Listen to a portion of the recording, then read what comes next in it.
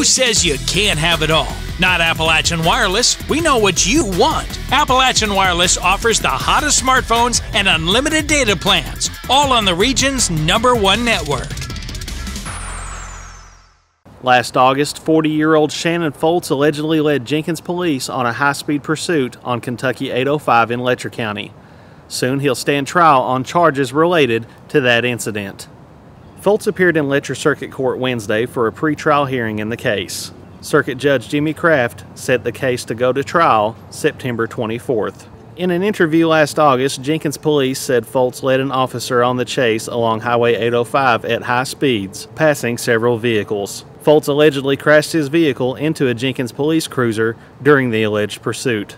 Foltz is facing felony charges of assaulting a police officer, 13 felony counts of wanton endangerment, and fleeing and evading police. He's also charged with being a persistent felony offender. Shannon Foltz is currently free on bond. Reporting, I'm Chris Anderson, EKB News.